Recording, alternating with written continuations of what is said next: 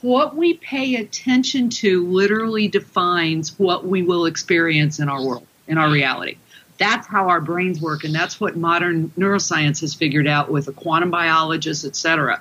That literally we are we are a, like a search engine, and when it comes to processing our data, and the data that we search for to bring into our reality is based on what we pay attention to. Hey, it's Rocky. Welcome to Richer Soul. Today's guest is Rebel Brown, who's going to help us how to pay attention.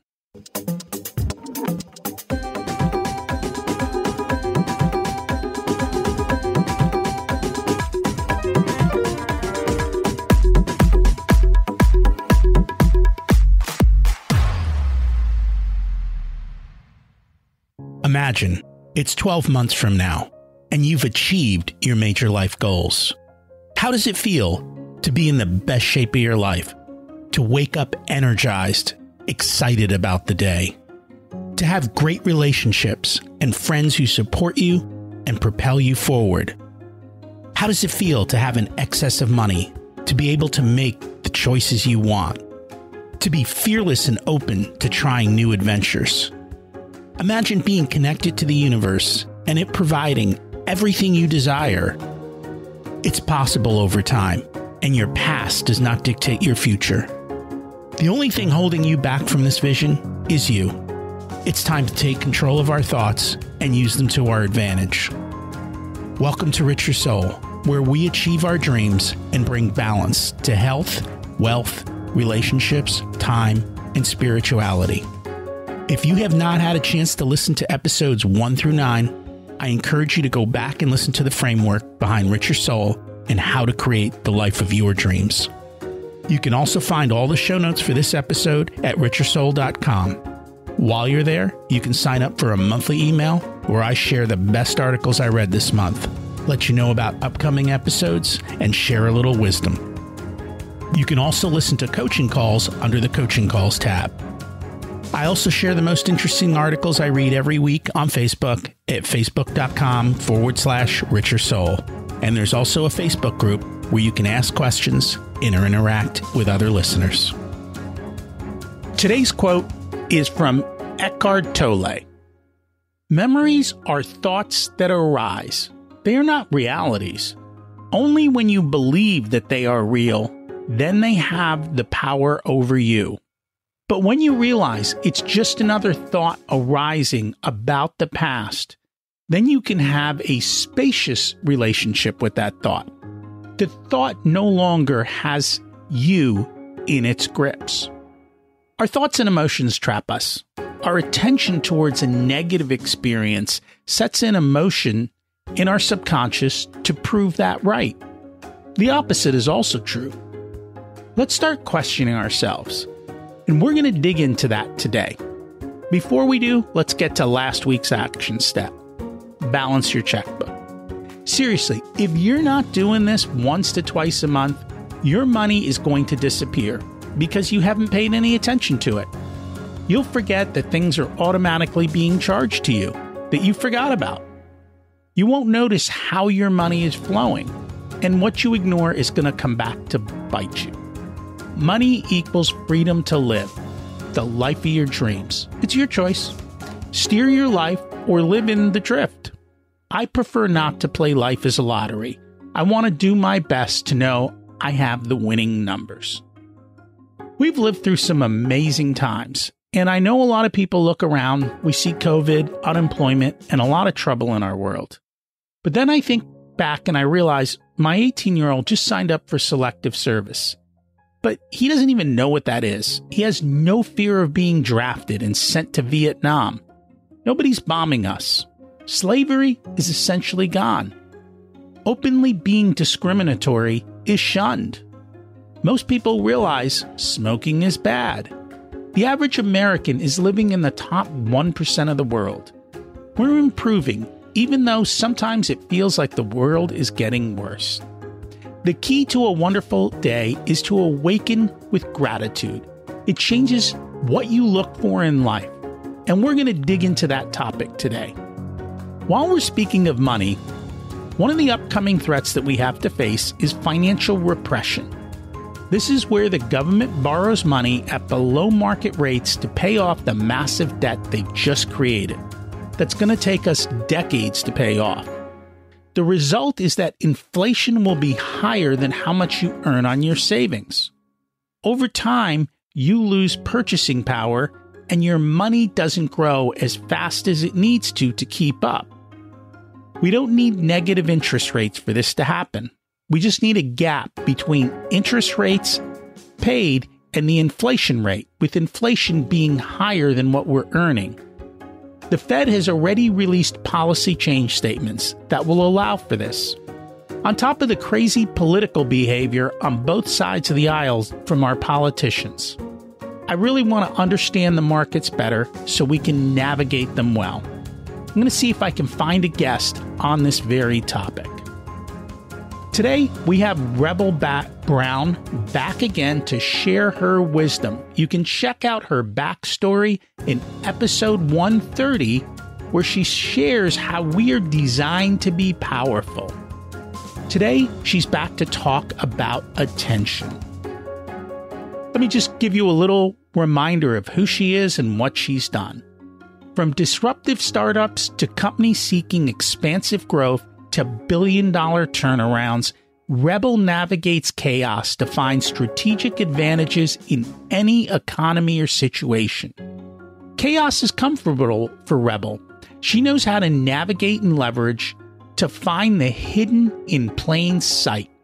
Breakthroughs that redefine your status quo. All with a double dose of fun and a straight up shot of reality. Get ready for anything but a one size fits all approach. Rebel's background is unique, to say the least. Her business experience ranges from the complexity of high tech and biosciences to multi level marketing companies to nonprofits. Her personal adventures have taken her from a minor in philosophy to deep studies in ancient texts, esoteric practices, and hidden knowledge beyond modern science. Expect anything but a traditional consultant, speaker, or coach. Let's meet Rebel and hear what she has to share. Welcome to Richer Soul, Rebel Brown. It's great to have you back again to join us today. It's great to be back, Rocky, because you know how much I love you. and I'm excited for the conversation because this is something I have trouble with all the time which is I look up and I go, How did I get here? How did that happen? What did I miss? And that is because we all are so attention distracted these days. And we're just going to roll right into this is first of all, let's define the problem. Why is attention so important? So, you know, Rocky, we've all been taught to pay attention right? I remember, I don't know about you, but I remember vividly when my teacher would say, pay attention, right? And I also remember getting smacked on the hand with a ruler a couple of times. I know that's hard to believe, right? But, you know, we are taught from the time we're tiny to pay attention, right? You pay attention to the road, you pay attention to crossing the street, you pay attention to your parents, you pay attention to your teachers, you pay attention, you pay attention, you pay attention, right? What we aren't taught is that what we pay attention to literally defines what we will experience in our world, in our reality. That's how our brains work, and that's what modern neuroscience has figured out with a quantum biologist, et cetera. That literally we are we are a, like a search engine, and when it comes to processing our data, and the data that we search for to bring into our reality is based on what we pay attention to. And that was a big awakening for me because, you know, we all talk about, you know, you've all heard, we all hear about law of attraction and all that stuff. But, you know, it is, it's true. What we pay attention to is what our unconscious minds and our conscious minds believe we want in our reality. Now, here's the twist. As we're taught, I want you to think back to when you were taught to pay attention. Are you taught to pay attention to all the wonderful, great things that happen in your life? Or are you taught to, or are you taught to pay attention to the mistakes, the problems, the threats, the potential threats, the potential potential threats that wake you up at two in the morning, right? we weren't taught the power of our attention, and we were taught to pay attention to the negative and the potential negative. And that sets us up to create less than we want in our lives and these self fulfilling prophecies of these same problems over and over again, or same fears or same threats, because that's what we're paying attention to.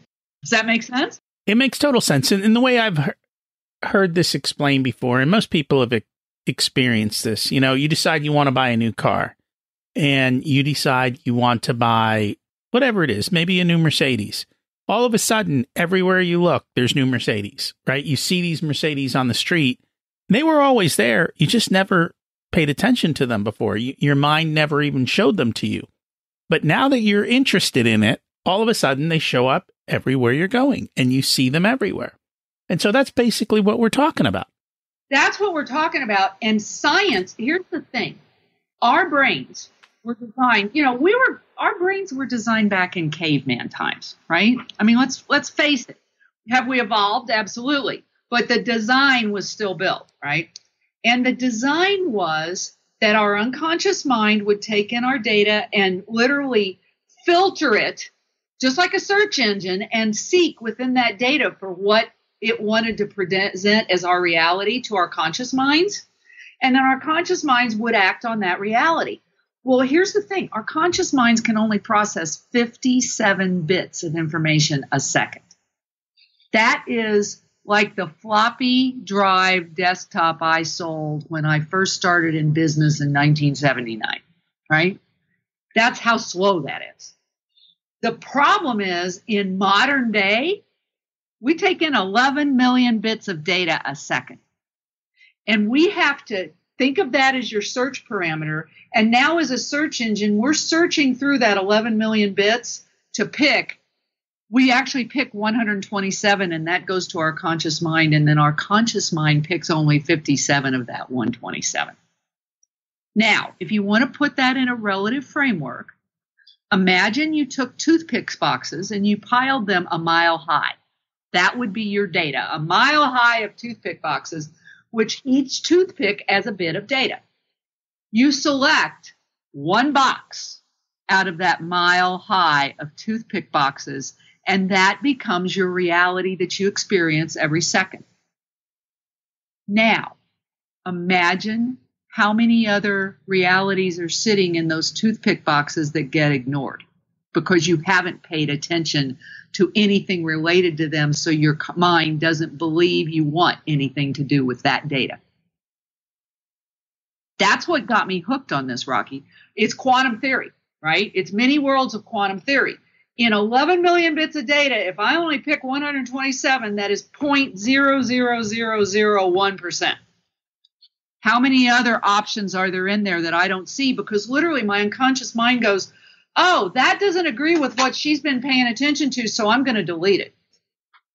So if I'm paying attention to, oh, I don't know, not get to, you know, something horrific, or if I'm paying attention to the potential of a threat coming at me, right? Oh my God, I'm going to lose my business. Oh my God, I'm going to lose my business. Oh my God, I'm going to lose my business.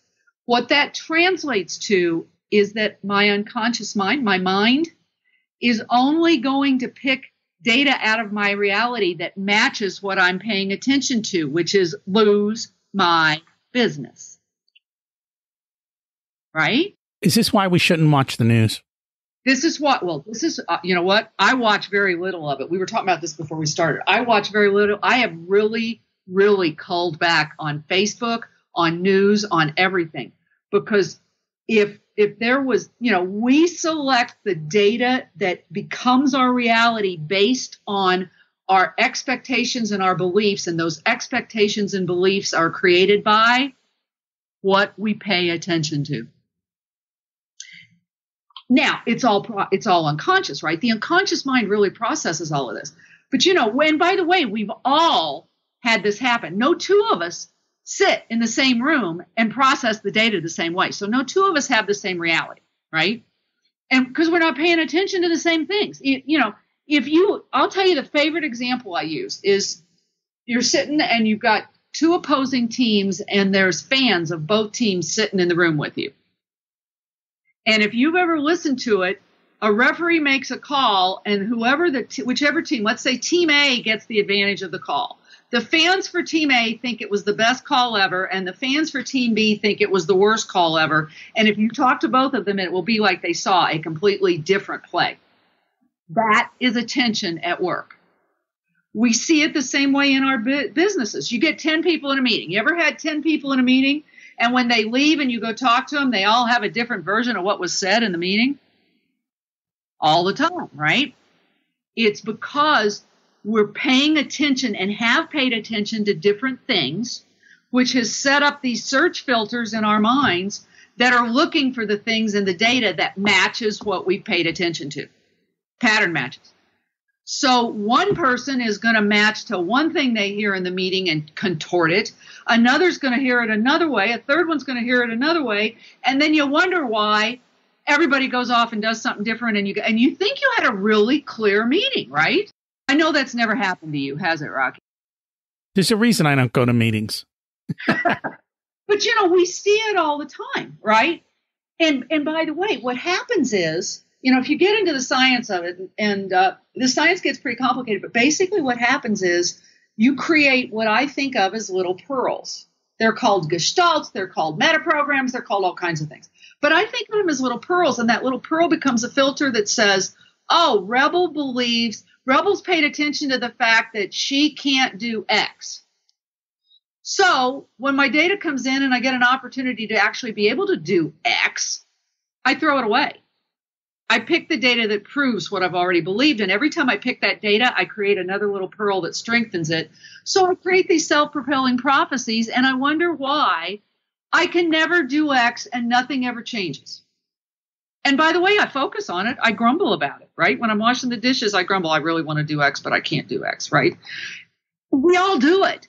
And now with modern science, we actually understand why and how it works and what we can do to change it, right? But in the meantime, the bottom line is we're taught to pay attention. We're taught to pay attention to the worst possible cases out there and, and be prepared, right? We're not taught to pay attention to our successes, to the growth, to the wonderful things, to pat ourselves on the back. And what ends up happening is we end up building all these self fulfilling prophecy programs that just keep repeating the things that we really don't want, but that we focus on because that's what we were trained to pay attention to.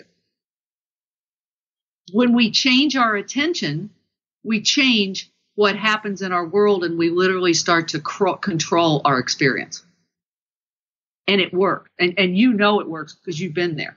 We've we've been we've talked about that, right? Absolutely. Absolutely. more and more people understood. You know, I was I got fascinated when I learned all this. And you know, if more people understood what what the truth is about us, not the turn of the 19th century stuff that is all of ancient psychology, and I'm not saying it doesn't have value. I'm just saying there's scientific evidence and discoveries that have changed what that that have proven that that wasn't accurate. Our unconscious mind is not the dark evil side of us. It is actually the work the workhorse of our minds.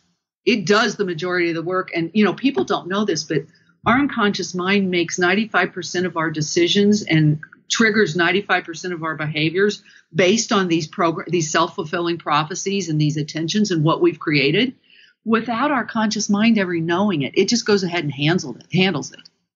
So that our conscious mind only gets the reality and what we need to actually logically process. Your unconscious mind is constantly working for you. It is not the evil, dark thing that Freud and Jung and all those guys said it was. It's misunderstood, but it's actually a powerful force that we can all use when we understand how to use it. And attention is the simplest way to take control of it and teach it because what you pay attention to is what it thinks you want. And by the way, it doesn't hear a negative. I don't want that. I don't want this. All it hears is the focus of your attention.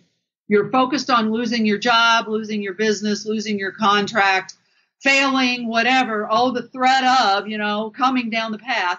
That's what it thinks you want. It's not, it's not logical and processing. It's doing what you're telling it to do.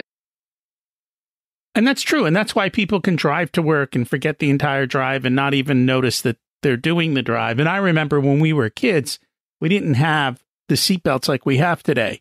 And so whenever a driver had a kid in the front seat and they would they would hit the brake, their arm would automatically go out to smack the kid in the chest to hold him from flying forward. Wear seatbelts. We tried. They want, but I do that, right? And, and and by the way, that brings up a really good point. We were going to talk about it a little bit later, but when you're driving, when you're doing rote tasks, right? Uh, shaving, driving, putting on makeup for women, maybe guys, I don't know. Um, washing dishes, doing laundry, you know, all those rote tasks. We're paying attention.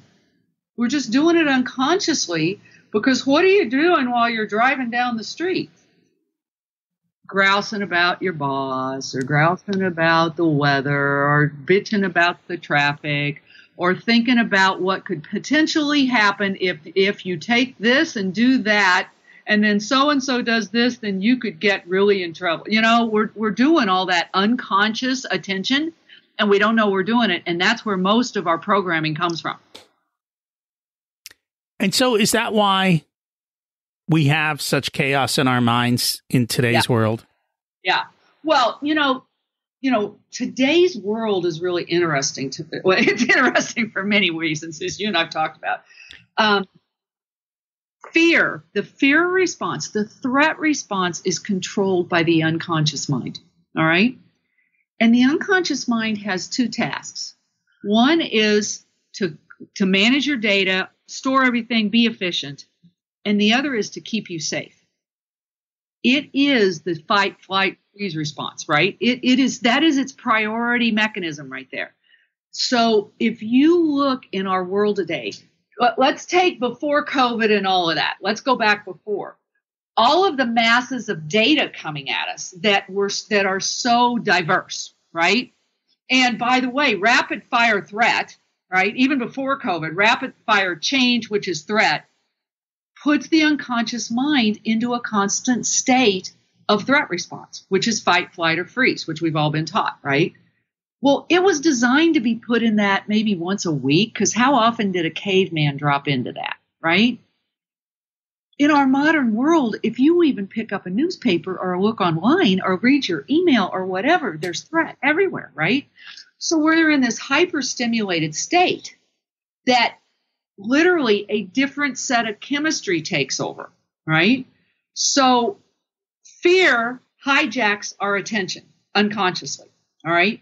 Now, what it does is it, you know, when you're in a situation where you feel powerless, which I would say a lot of people feel that way right now, right? We're looking for ways to find control, safety, a way forward, etc. When we're in that situation, our mind starts to do anything it can to find a way to feel like it's in control. All right. So, first of all, what happens is, you know, we've all heard about fight, flight, and freeze, right? Well, with fight, what hap- you're going to drop into one of those three category, you know, response categories, even, and that's going to impact what you're paying attention to unconsciously and somewhat consciously, right? So, for example, you know, we look at the behaviors that are out there. Let's just look at some of the behaviors. You see the the raging, the attacks, the arguments, the just the nasty things. That's those are people in a fight response, right? And they're paying it. Their way to find control is to pay attention to how do I get control of my life? And in their particular case, it's a fight response. I'm going to attack everything. I'm going to have it my way. I'm going to get out my gun. I'm going to do whatever, and I'm going to attack right? Then you see people that are in denial, right? I'm going to deny everything. Nothing's going to happen to me. I, I'm just going to ignore it all. That's a flight response in a human, right? So, you know, the conspiracy theories, the world's just fine, blah, blah, blah. You've got that. And then you've got the freeze, which is basically, it's the most common, but it's the least visible because basically what we do is we hunker down into the way we've always done it and thought about it and we hang on to the status quo because that's where we were safe, right? And we just keep repeating what we're doing and praying it's going to change. And, and and and trying to change, but still paying attention to the same darn stuff that got us in trouble in the first place, right? Because we've got this threat response going on. It's driving us to even look for more threats. It's driving us to search for what could go wrong.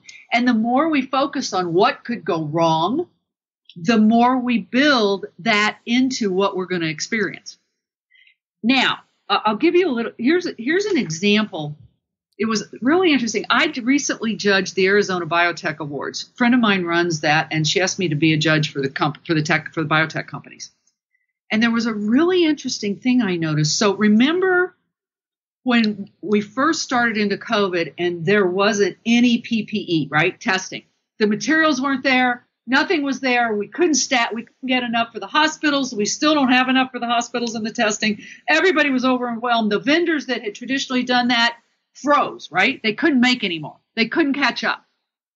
Well, in Arizona, there were these two companies that shifted their manufacturing in under two weeks from the products they were manufacturing that were in healthcare of the same materials but different focus. In two weeks, they shifted everything over to, to build PPE and lab materials because they didn't pay attention to the threat. They pay attention to how to solve the threat.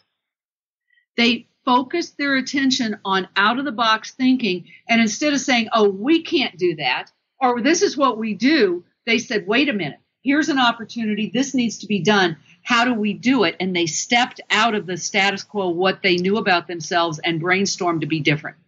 And that's what we all have to learn how to do with our attention right now, right? They didn't allow the, the threat response to drive them to the threat. They allowed the threat response to open their minds to be able to see other options.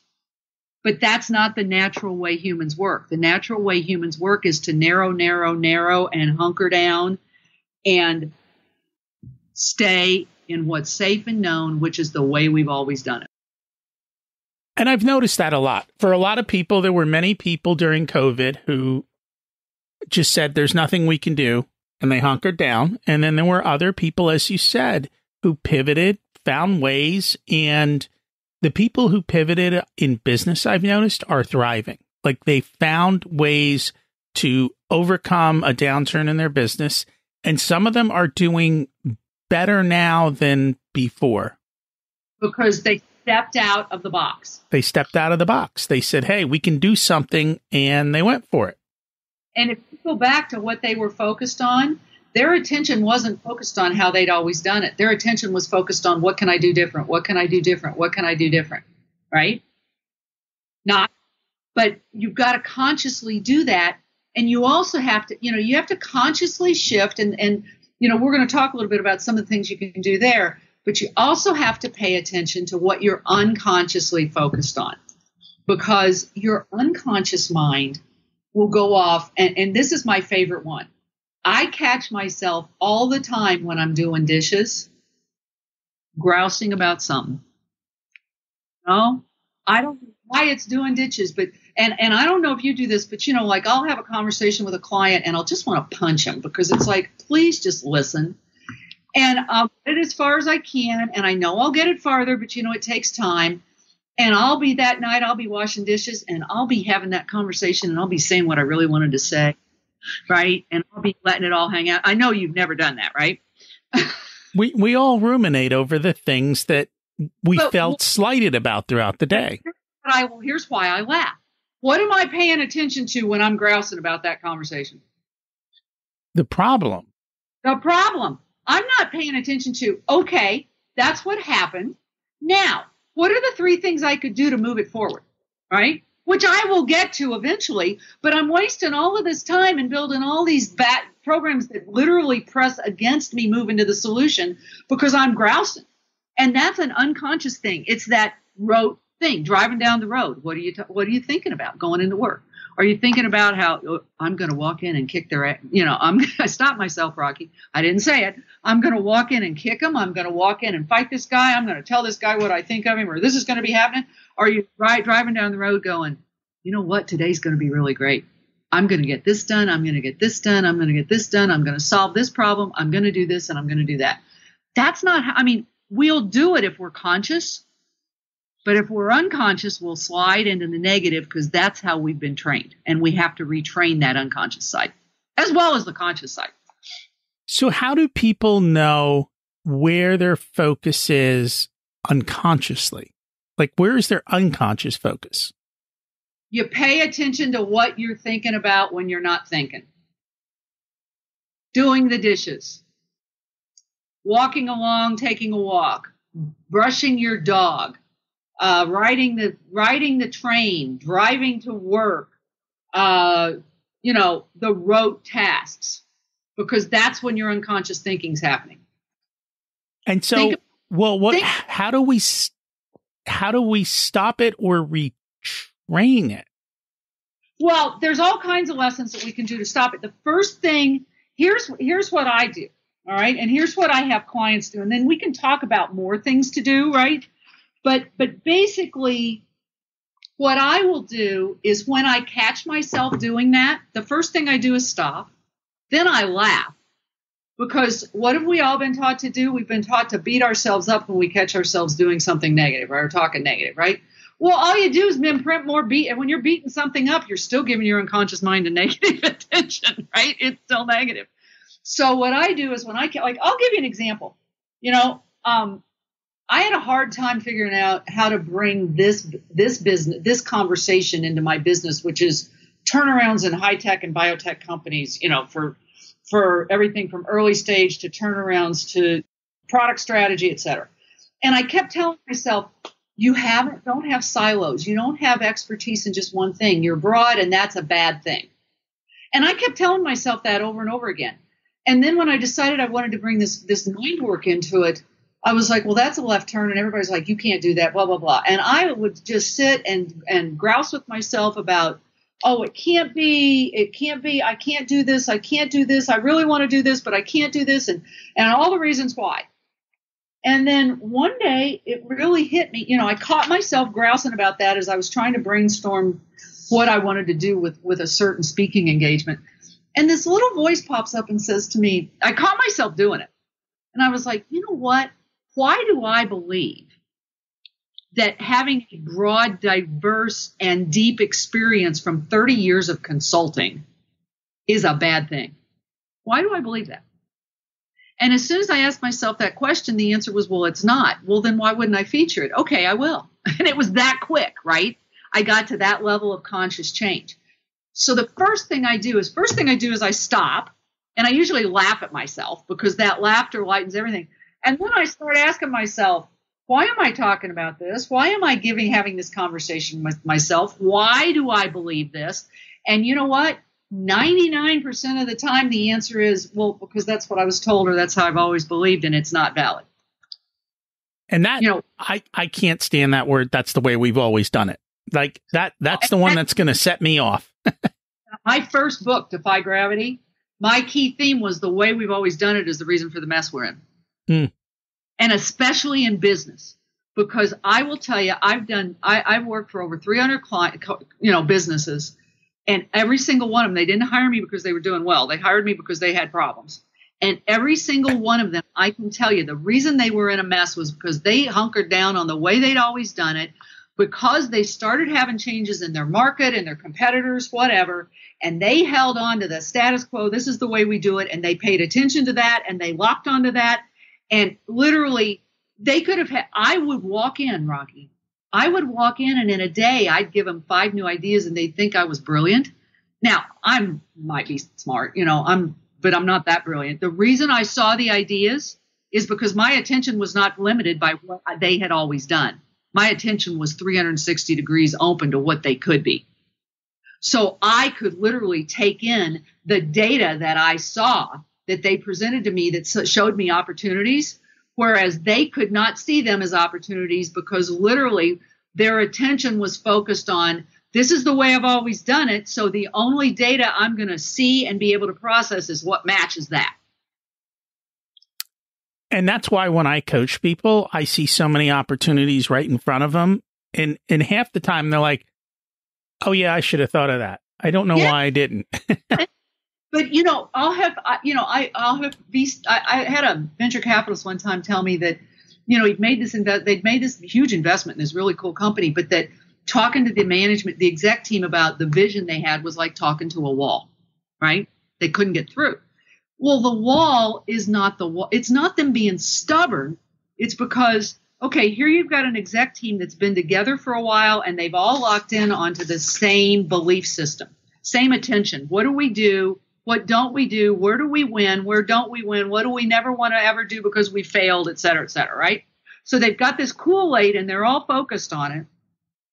And an opportunity, the, my venture guys are trying to show them opportunities, but they're showing them opportunities in a way that they can't see them because their minds immediately shove the data out and go, doesn't match, doesn't match, not true, not true, and throw it away.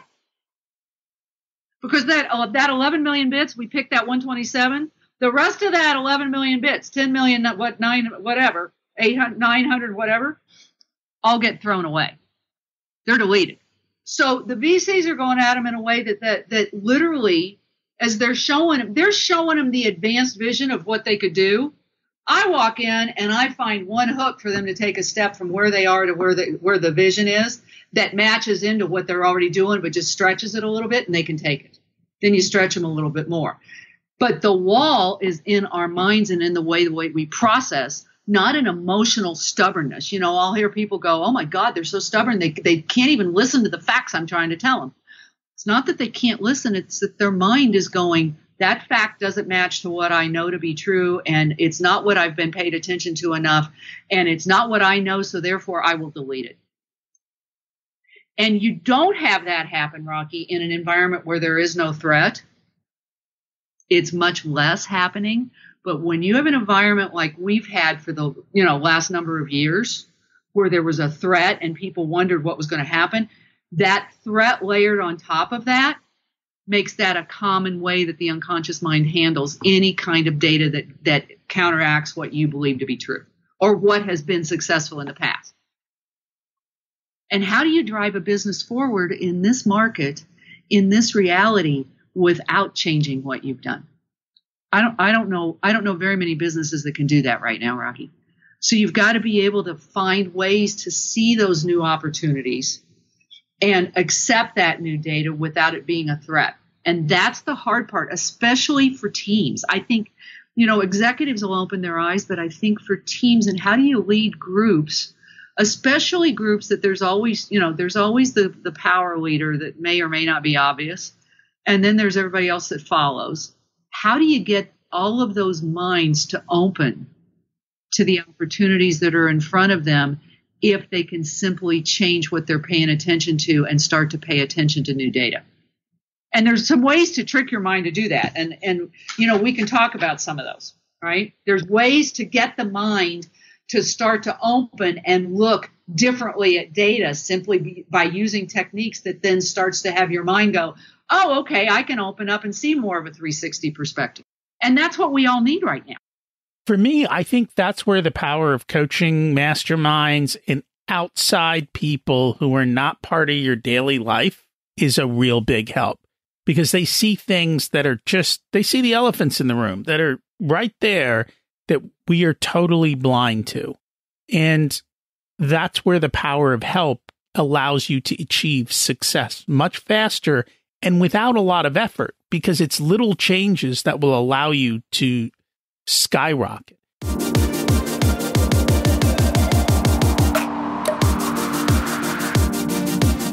Today's episode is sponsored by Profit Answer Man Podcast.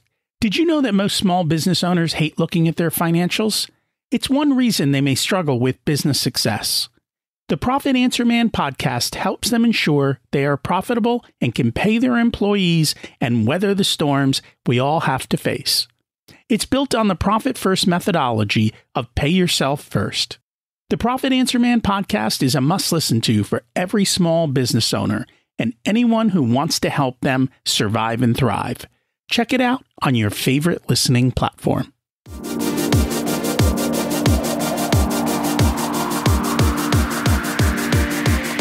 So go ahead and share. So, what are the things that we can do to pay attention to our attention and take more control? Right. Well, and I think I agree with you on the coaching, and but even with the best coaching, and and I, you know, you have I've, to listen. I've consulted my whole life. That's my. Point. That's exactly where I was going.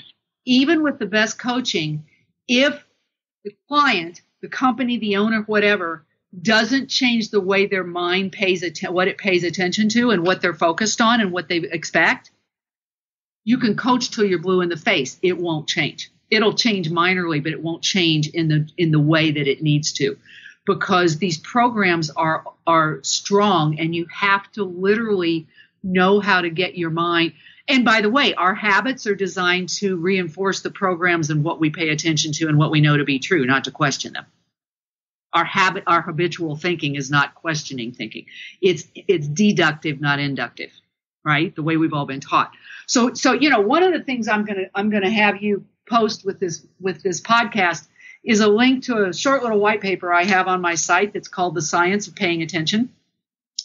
And it goes through what we talked about today in a little more detail, but it also has six concrete steps that every business can start to uh, use.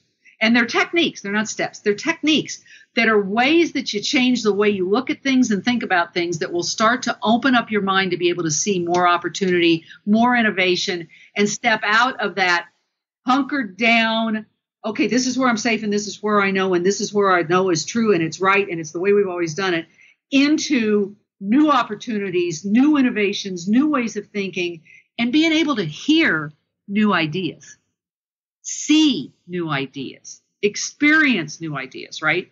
Because as long as we're in that old programming, we don't do that easily. So, so let's talk about a couple of those. All right. So one of my favorite ones is as as humans, we are innately programmed to believe that we are right. Okay? And by the way, some of the research, if you ever want, if you want, some of the research is pretty interesting. We believe we are right no matter what. Once we make a decision, we are right. And by the way, that design was there because you need a caveman to believe he's right and he's going to win to go out, get him to go out and face a woolly mammoth, right? You got to believe you're right.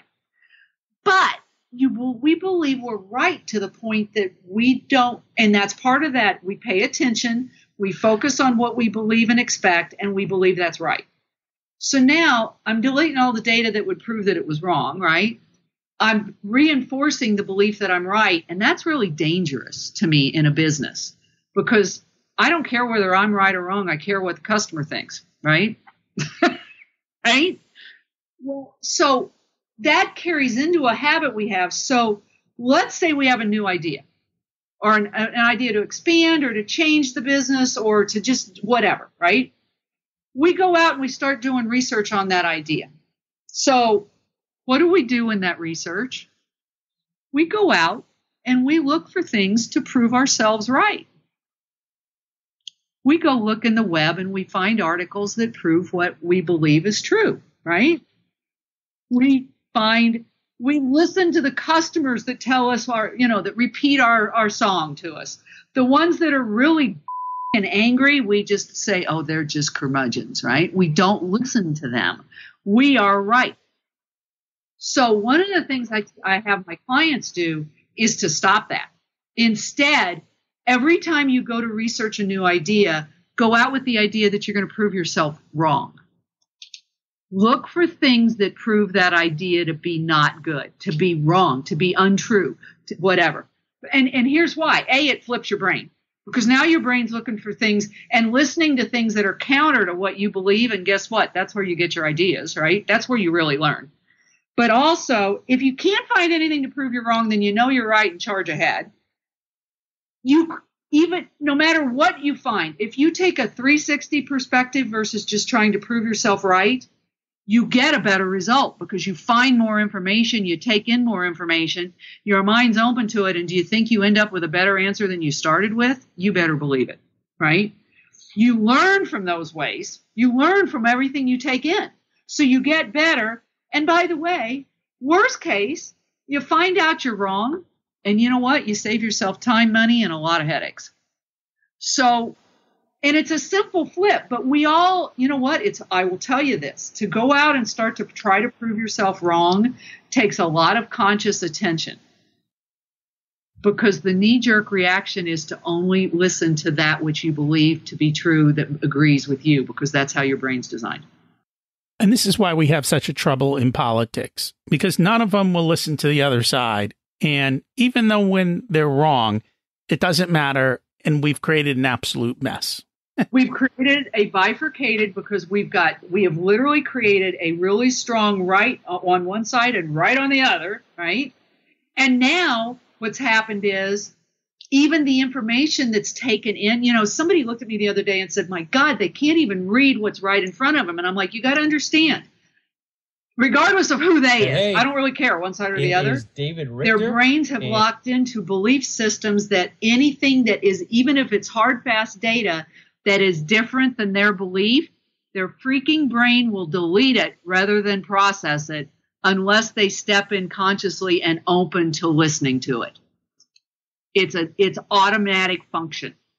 So you can sit there until you're blue in the face arguing with somebody that's on that opposite side, but their brains have literally shifted. It's like the fans on a Super Bowl team, and one makes a, the call goes one way, not the other, and they're at each other's throats. It's no different, other than it's on a massive scale.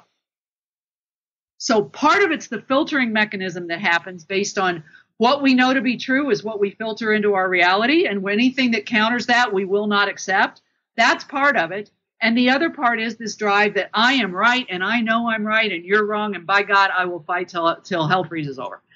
And then we've got the whole fear thing on top of it, which makes the brain operate in threat mode that escalates all of the response behaviors.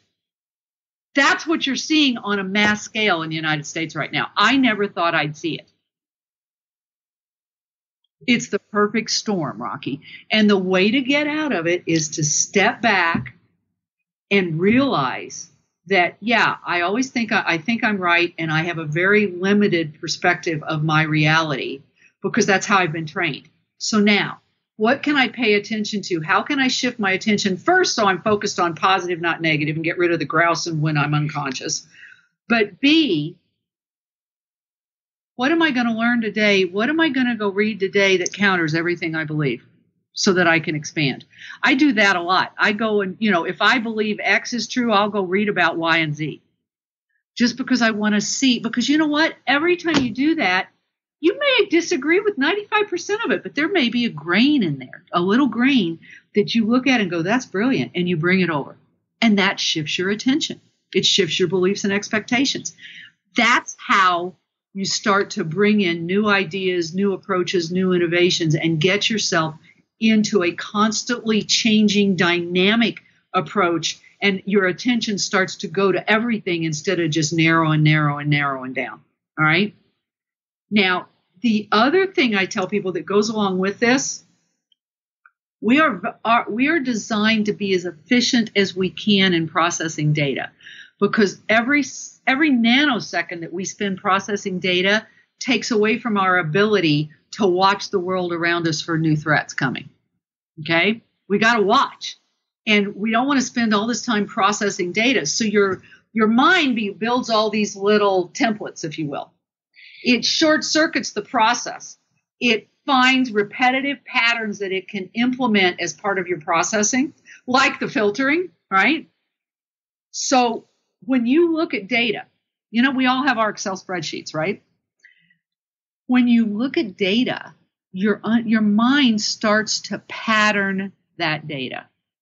So if you look at a spreadsheet, the same spreadsheet every week, month in, month out, your mind will start to imprint what the data was on that spreadsheet and it will start to not look at the actual data. It will only look for deltas that it sees as big enough to be important.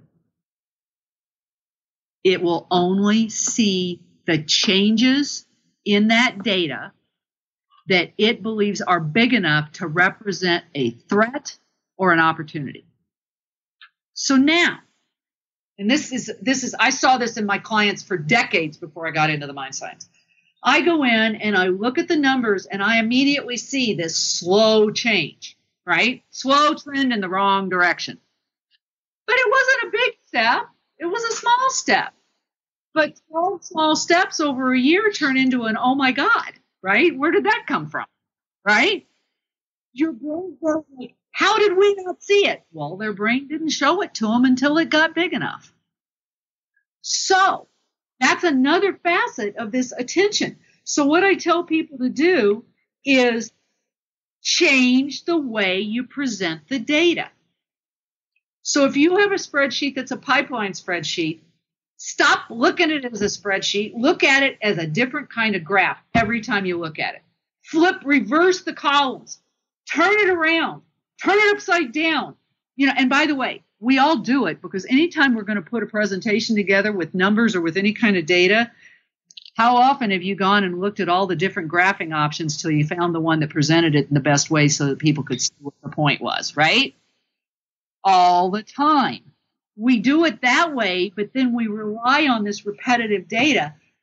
Change the way your data is presented every time you look at it because all of a sudden, I can't tell you, I have had client after client that all of a sudden I'll have a CFO call me and go, oh my God, I did what you said, and I just saw something that's been going on for two months that I never would have tracked if you hadn't if I hadn't done this.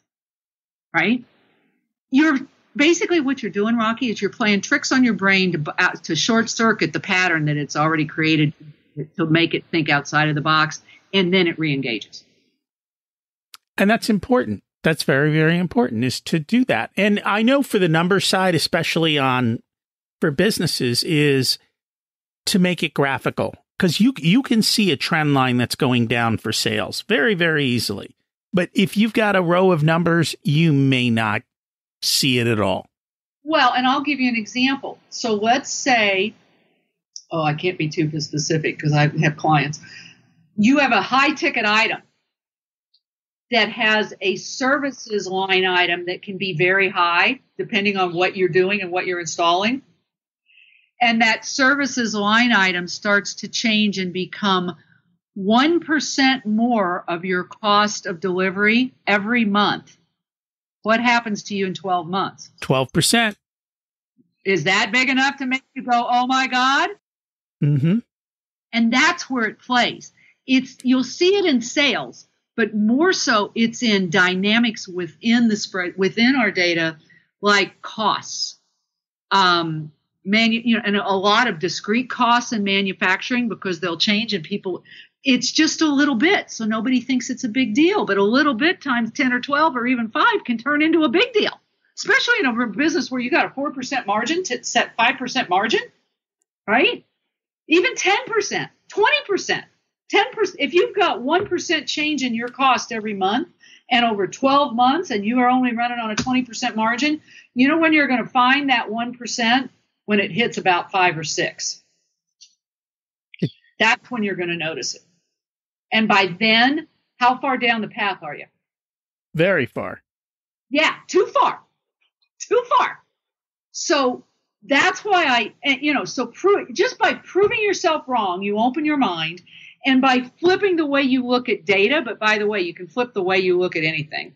And one of the ways I do it, like uh, you know, like I'll do this exercise with companies because I do a lot of product strategy and positioning and product marketing and that kind of work for companies as well as corporate strategy.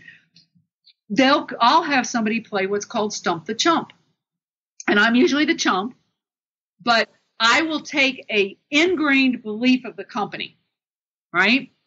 And I will sit up there and I will defend it and I will ask the people within the company to attack it and to prove that that belief is wrong. And I'll defend it. I won't let them defend it. I'll do it. And you know what? It's amazing what they come up with because they're not in, the skin is in the game for them to attack it, not protect it. And once they start questioning it, and I don't say attacking, I say ask questions about it.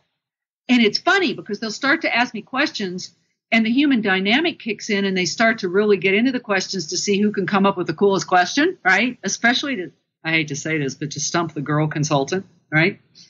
And it's funny because all of a sudden it never fails. Somewhere in the middle of the question, somebody will start laughing and and and and look at everybody and go, listen to us. We're proving her point for her. That that's not true. That's a, you know, question the re- question. You pay attention. It creates a belief and it becomes an expectation that that's the way the world is. Why? Why do you believe that? Why do you think that's true? Where is the evidence of that in today, right now? What else could be true? What is the opposite of that that could be true? And when you start asking those questions, you know, questions open your mind to new data. Statements narrow your mind to just that data of the statement. So you always want to use questions rather than statements. But if you think about it, now I'm starting to prove myself wrong on on beliefs and research. I'm starting to have teams that don't just go, "Oh, that's a really great idea."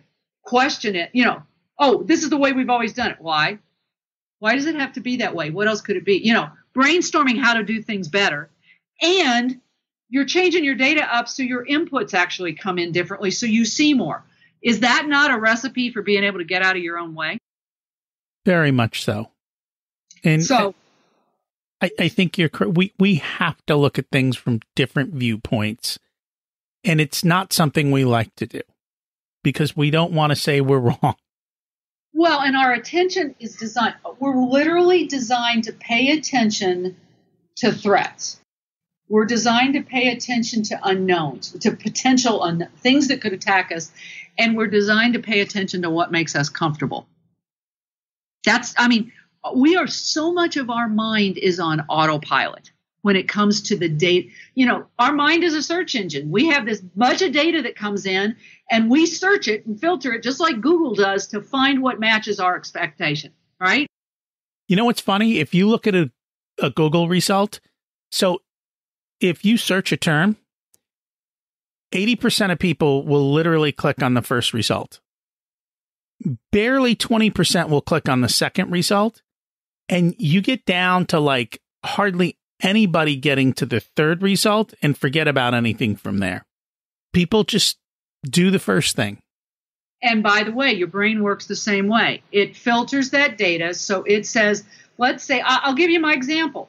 Having a broad, deep career is a problem it's not a, a, good thing, it's a bad thing because everybody expects executives to have a silo, right?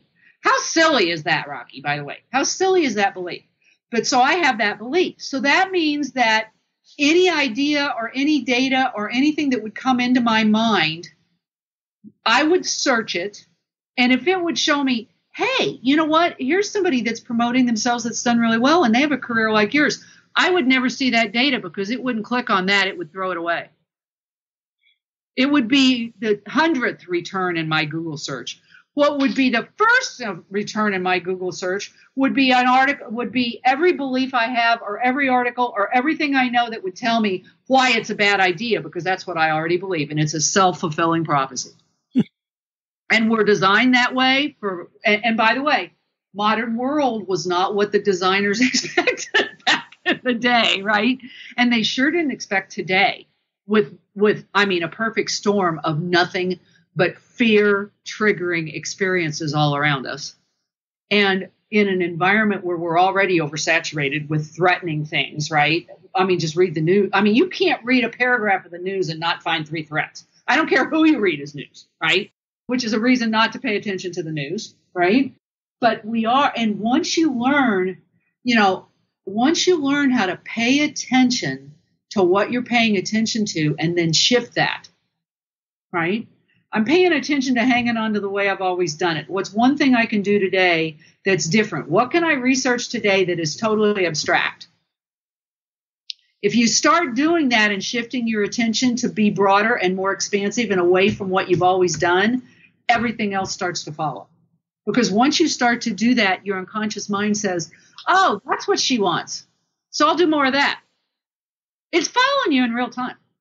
But you got these built up, all these years of built up stuff that you've got to kind of get past. So you've got to stay conscious about it, even when you're unconsciously grousing while you're doing dishes. You got to catch yourself, laugh, and go, you know what? That's really not true. What I really want to focus on is this. But it works. It works. I mean, you start to focus on new things. And like you said, the clients, the companies that have said, wait a minute, I'm not going to focus on the problem. I'm going to focus on what new solutions I can come up with. I'm not going to listen to, oh my God, we're going to die. Oh my God, I'm going to lose my business. Oh my God, I'm going to be home. I'm not going to listen to that. I'm going to focus on what's out there that needs to happen, who's out there that I can serve, and how can I serve them and help them. Those are the companies that have flipped where their attention is. And it's changed their business and their world. and that's what we all can do. We just have to consciously do we have to consciously be un, we have to consciously monitor our unconscious and our conscious and pay attention to our attention. And that makes total total sense. Based on our conversation today in this topic what is one action step people can take this week to bring about change in their lives um, I think in let's let's do it from a business perspective, Rocky. Pay attention to the knowns that you hold dear, to the way you've always done it, the status quo. I do this, and this is what my business is. I always do it this way. I want. I this is truth. This, you know, whatever it is, and start to ask yourself questions. Ask yourself why. Why do I believe that? Where is the proof of that? Is that still true? What other truths are around that? Start to question those things that you pay attention to as knowns and beliefs and expectations because that's the beginning of that and and then ask the questions to prove yourself wrong right? To prove that there is an expanded version of your truth because that begins to open your mind to be able to see and accept more of the data and not be such so strict about filtering just for the way you've always thought about it. And I think that is great advice. Right. And, and you know, one of the things I do with every client I have is I always do a session. You know, I, I do a lot of strategy work. So we'll have 20 people in a room working on a strategy for the company. And every time they tell me, for example, they'll say, well, we succeed in this market and we do really well in this market, blah, blah, blah. And I'll look at them and say, why do you know that's true? And they'll look at me and go, well, we do. And I'll say, where's the evidence? Oh, well, you know, we, it's our largest market. And i will look at them and go, and how much does your competitor own in that market? And you know what? 90% of the time, the competitor is bigger in that market than they are, but they don't know it. They have assumed because it's their biggest market that they were winning. And in fact, it was low margin, hard to win business and not the greatest market, but they figured out how to win, even if it wasn't the best opportunity. Right? That's the things you find when you start questioning those things that you paid attention to to create the expectations and knowns that become the foundation of your business. And I'm sorry, 25, 30 years ago when I started consulting, a business could say, This is who I am, and three to five years later, it was probably a similar business. That is not true anymore business was six months ago may or may not be valid now. So everything you have ingrained in you is from you've paid attention to to know it's true, you got to question every bit of that and you've got to get your mind in a position to know that you're questioning it and to go look at other options. Seek out more data. The more data you get through into your mind without it being blocked, the better opportunities you have for thinking out of the box and innovation. And that is going to be the difference between those who survive and thrive and those who disappear. You've got to constantly innovate right. and constantly change. And, and here's the other thing, Rocky. There is a, I believe that there is a mass belief that's been entrenched in entrepreneurs that change is hard, that innovation is hard, and that is a crock. That is a total crock. Innovation is so simple. We fight it because it's change. Innov- and change is a threat, and our minds are programmed to fight against that. Innovation is easy because anytime you're moving to solve a problem for a customer or a client or whatever, it's easy to move that way. It may disrupt a lot of people and ruffle feathers, and people may get upset and grouse and moan, but that's a human response. That is not a business fact. And I read a book. It was called uh, Disrupt You. It's by Jay Samit. And oh. Jay actually was in a lot of industries that are no longer around because he disrupted them all. Right. By constantly challenging everyone. And that's what he fought against was people who wouldn't um, change and couldn't see the opportunity. And he was a master at helping them see change. Well, and you know, that's what, if you talk to my venture guys, that's what they tell you. I see the things that other people don't see. I walk in and see them. And I, and they used to, th- you know, I know now why. I have a lot of experience. I don't see very many things I haven't seen before by this point in my career, but I don't have any of the blinders, the blind spots, the filters that, that that the people in the business have about who and what they are and what they do. I walk in with a clean whiteboard going, where's the opportunity? What's cool here? What do I go hmm about, right? You don't do that. They have it already imprinted as their storyline because that's what they've focused on and their attention and that's the expectation. Once you get to the point you can see beyond that, and you can literally see what's going on and not be locked into the way you've always done it people in the bit once i get once we get past that and i start throwing ideas it's amazing what happens in a room because i'll be on a whiteboard throwing up ideas and people will start to fight me and then all of a sudden somebody will come along and start to add to it and somebody else. And the ideas that come out are so much more powerful than anything i would come up with because they know their business. But they just need the structure to hang it on rather than what is ingrained in their brains. We may be smart, but we're also designed to repeat, repeat, repeat because repetition in a comfort zone is a lot safer than going out into the unknown with something new. And yet, the unknown and something new is where you win in business, right? And that is very true.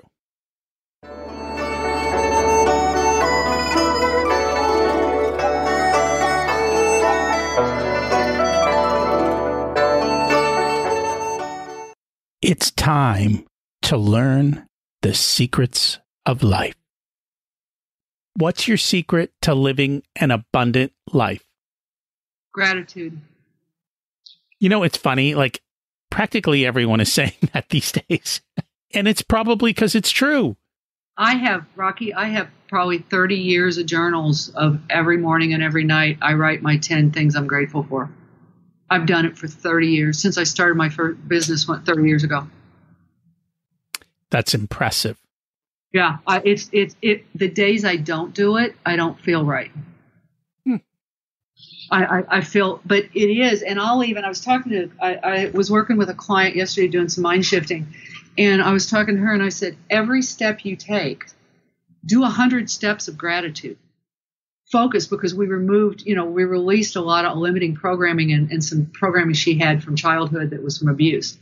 And, you know, there's all this space in her mind now. And I was like, the best way you can fill that space is with gratitude because it puts you in a position of when you're thankful for things around you and you're noticing the little details, your unconscious mind goes into a different mode than when it's threatened. And that again starts to open up what you see in your world. If you're afraid and clenched down, it's a totally different world than if you're grateful and standing up and confident. That is so true. What did you learn later in life that you wish you would have learned sooner? that I don't that what other people think doesn't matter.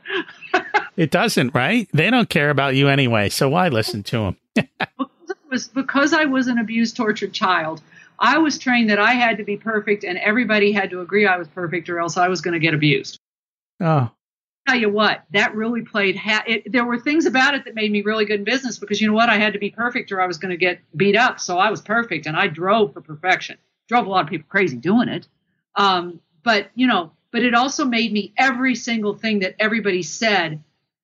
I had to be perfect in their eyes or I was in, in danger of death. It was that kind of a program. You know how much energy that was and how much wasted, oh my God, angst? And now I realize you know what? Everybody has their opinion. No two of us live in the same reality because no two of us are picking that same 127 bits every second, let me tell you. Not happening. So everybody's got an opinion and they have a right to it, but that doesn't mean it means that what their opinion of is me is really the truth. I have my truth and I am the keeper of it. And I'm the only one that really knows it. And that's awesome. If you were to give an 18 year old one specific piece of wisdom, what would it be? Oh, an 18 year old enjoy, enjoy, enjoy college, enjoy your life, enjoy what you're learning, and be ready eh, because it's going to change. Enjoy it now. I would tell an 18 year old to enjoy it now. Just mother did, and your mother probably did too, right? Enjoy it now because it's going to get, you're going to have responsibilities. Everyone told me that, and all I wanted to be was 28 and out, you know, blah, blah, blah. No, enjoy it. It's the last time you'll ever, it's the last time you'll actually have the ability to not have to be responsible about anything other than learning and college. And that is a blessing. And that's what I'd tell them. And that it is. If people would like to find you, connect, and learn more, where should they do that? Rebelbrown.com makes it really easy. And it's Rebel Brown on LinkedIn. It's Rebel Brown. It's Rebel Brown on Facebook. YouTube is Revelations TV, but you can also find it through Rebel Brown. And all of it's on my website. Cool. And we will put that in the show notes. Thank you so much for joining us this week. Rocky, you are an amazing man and you do so much for so many. Thank you. I always enjoy conversations with Rebel. The bottom line is we need to question everything. What is it that you need to question? The first thing is me. Don't believe everything I say. Challenge what I say. Is it true? Challenge your beliefs, especially your money story. This week's action step is just that. Pay attention to what you believe to be true and ask why. I'm working on this in my life and I know I need to do a better job. I have trouble with focus and attention. I live in my own world. I need to be mindful and present and challenge myself because I am my worst enemy. Next week, we have on Dr. Paul Napper on the power of agency, which is to question who's in charge of your life and to take charge so that you can lead yourself. What's preventing you from moving forward, and who are you putting on your team to help build the life you deserve? Remember how Rebel talked about how she helps people see the next step they can't see because they're stuck? That's what I do for my clients. I help them see the gold sitting on the ground in front of them. Are you ready to pick it up? Use the scheduling link in the show notes. It's a free call and you can make a massive shift in your outcomes. Thanks for listening. Have an abundant week.